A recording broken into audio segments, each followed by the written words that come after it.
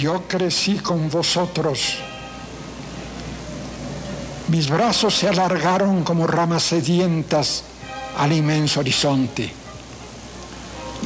El águila de Patmos, oh gran libro volante, me enseñó el Evangelio de las rocas.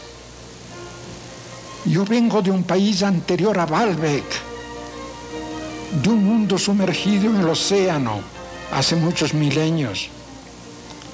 He vivido cien mil domingos en la tierra y he visto sobre el surco de las nubes a los bueyes alados de Babilonia y Nínive. Ecuador.